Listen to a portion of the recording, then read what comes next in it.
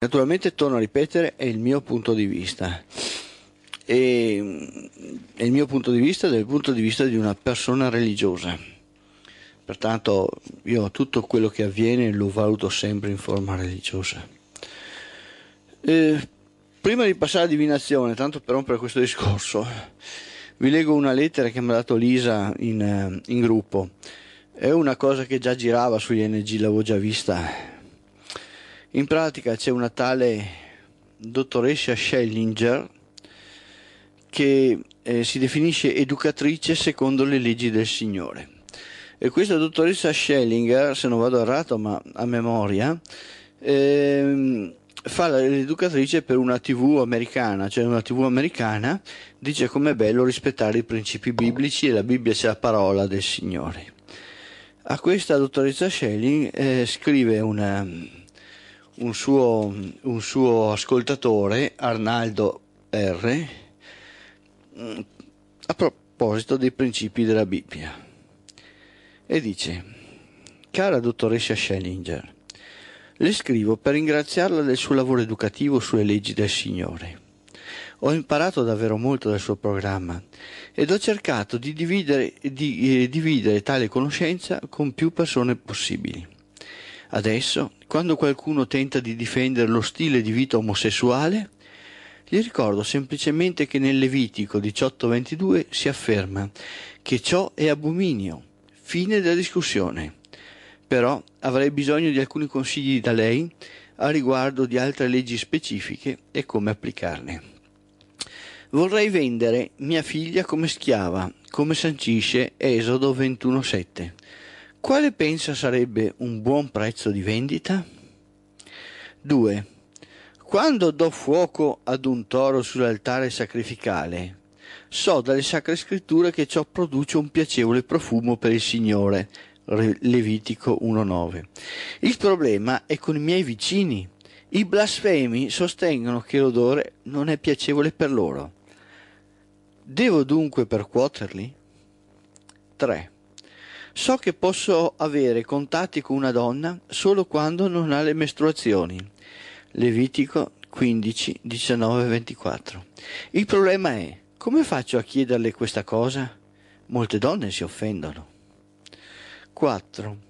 Levitico 25:44 afferma che potrei possedere degli schiavi sia maschi che femmine a patto che essi siano acquistati in nazioni straniere. Un mio amico afferma che questo si può fare con i filippini, ma non con i canadesi. Può farmi capire meglio perché non posso possedere schiavi canadesi? 5. Un mio vicino insiste per lavorare di sabato. Esodo 35.2. Dice chiaramente che dovrebbe essere, dice chiaramente, Esodo 35.2 dice chiaramente che dovrebbe essere messo a morte sono moralmente obbligato ad ucciderlo personalmente? 6. Un mio amico ha la sensazione che anche se mangiare crostacei è un abominio. Levitico 11:10. Lo è comunque meno dell'omosessualità. Non sono d'accordo. Può illuminarci sulla questione? 7. Levitico 21:20 afferma che non posso avvicinarmi all'altare di Dio se ho difetti alla vista. La mia vista deve per forza essere dieci decimi o c'è qualche scappatoia alla questione? 8. Molti dei miei amici maschi usano radarsi i capelli, compresi quelli vicino alle tempie, anche se questo è espressamente vietato dalla Bibbia. Levitico 19:27. In che modo devono essere messi a morte? 9. In Levitico 11:6-8 viene detto che toccare la pelle di maiale morto rende impuri. Per giocare a pallone devo quindi indossare i guanti? 10. Mio zio possiede una fattoria. È andato contro Levitico 19:19 poiché ha piantato due diversi tipi di ortaggi nello stesso campo. Anche sua moglie ha violato lo stesso passo perché usa indossare vesti di tessuti diversi, cotone acrilico. Non solo, mio zio bestemmia tutto andare. È proprio necessario che mi prenda la briga di radunare tutti gli abitanti della città per lapidarli come prescrivono le scritture? Non potrei più semplicemente dargli fuoco mentre dormono, come simpaticamente consiglia il Levitico 20:14 per le persone che giacciono con consanguinei? So che lei ha studiato approfonditamente questi argomenti, per cui sono sicuro che potrà rispondere a queste semplici domande. Nell'occasione la ringrazio ancora per la missione che svolge nel ricordare a tutti noi che la parola di Dio è eterna e immutabile. Ecco, questo è ehm, naturalmente una lettera un po' scherzosa, diciamo così, che però mette in luce cosa significherebbe oggi come oggi eh, seguire quelli che sono i dettami della Bibbia. Cioè la Bibbia è un libro di morte, di assassinio, di genocidio che ha lo scopo di sottomettere le persone, di distruggere la vita delle persone, sottoponendole a regole che sono regole folli, regole da dementi. Ebbene, tutte queste regole per la Chiesa cattolica e per i cristiani sono ancora tutte in vigore. E quelle regole vengono applicate quando a loro conviene che siano applicate. Ciò che impedisce a loro di applicare quelle regole è la legge civile, è la società civile. Rifletteteci un pochino su questo e poi capirete perché noi non accettiamo il punto di vista storicistico eh, dei laici, cioè non che lo rifiutiamo nel senso in assoluto, però eh, c'è meno importante rispetto a capire che quando qualcuno eh, ti viene a dire che devi vendere tua figlia come schiava e praticamente non è altro che uno dei vari aspetti secondo i quali devi trasformare le persone in oggetto, in oggetto di sottomissione, eh, cioè, noi come pagani ci ribelliamo, cioè noi come pagani non accettiamo assolutamente questi tipi di principi. Ma non è che non li, li accettiamo eh, perché erano fatti duemila anni fa in fondo, cioè, ok, Tutte le società antiche avevano i loro principi, ma sono principi rimasti nelle società antiche. Cioè, anche a Roma si compravano si vendevano schiavi, ma apparteneva a Roma. Eh, questa appartenenza a Roma non era elevata a parola di Dio immutabile, cioè è una questione che apparteneva alla società civile e le questioni della società civile si cambiano, cioè le leggi si modificano.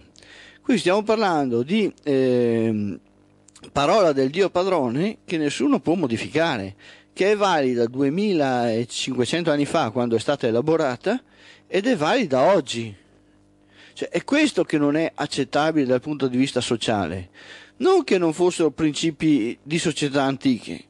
Nessuno mette in discussione che lo fossero. Il problema è che elevando la parola immutabile del Dio vengono imposte ad ogni società diversa dalle società antiche. Cioè, se nella società antica lo schiavismo era una condizione sociale, nel cristianesimo lo schiavismo era la volontà del Dio e le persone vengono messe in ginocchio davanti al Dio perché devono obbedire alla parola del Dio. Cioè questo è che è aberrante. Non tanto che il principio una volta c'era e dopo non c'era più, ma perché i cristiani pretendono che quel principio sia ancora valido. Ed è questo che eh, li porta a essere dei terroristi, li porta a essere dei criminali. Cioè è la manifestazione della verità a cui costringono le persone alla sottomissione. Poi il principio di vendere la propria figlia è irrilevante che sia una vendita vera e propria, perché esistono tutta una serie di comportamenti di distruzione dell'individuo che non necessariamente si va a vendere, perché si distrugge psicologicamente un individuo, si distrugge moralmente e lo si distrugge quando lo si costringe a pregare, cioè quando ci si ritiene in diritto di costringere i propri figli a pregare è, un abominio che va sempre all'interno del principio di vendere la propria figlia, cioè la fi- propria figlia come bestiame. E sono tutte cose che sono inaccettabili dal punto di vista della società civile, in quanto hanno la funzione di trasformare l'individuo in un oggetto di possesso. E non è accettabile questo. Cioè, questo è l'abominio vero e proprio del cristianesimo. Non che nelle società antiche non ci fossero delle cose che non andavano bene, molte cose che non andavano bene e che dovevano essere cambiate. Nessuno ha mai detto questo. Il problema è che i cristiani hanno elevato ciò che non andava bene a volontà e manifestazione del loro Dio e le hanno imposte quella violenza assassina, perché hanno macellato milioni di persone, agli esseri umani e alla società civile. E tutt'oggi questo continua tutt'oggi, e questo continua, lo possiamo vedere, vediamo un attimino subito a sfogliare anche subito un pochetto di rassegna stampa, come la guerra che quel criminale di Ruini e la banda di assassini della Chiesa Cattolica sta facendo contro l'aborto.